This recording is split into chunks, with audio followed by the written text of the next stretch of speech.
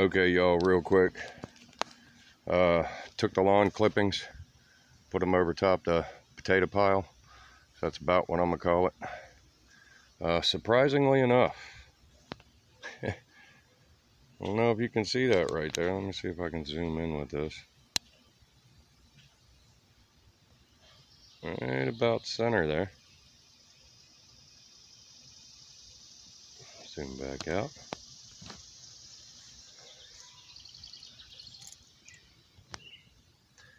The experiment seems to be working.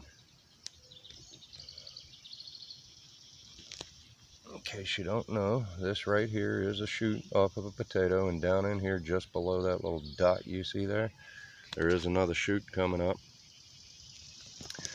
So because of seeing that, I came over here and dug a little bit. Uh, let's see where we at. Right in here, there is another one coming up as well, and there are two shoots coming off of that. So, uh, yeah.